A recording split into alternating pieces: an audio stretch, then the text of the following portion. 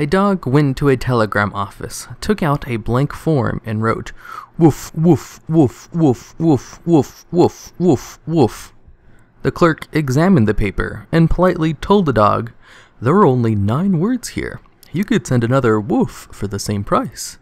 But, the dog replied, that would make no sense at all.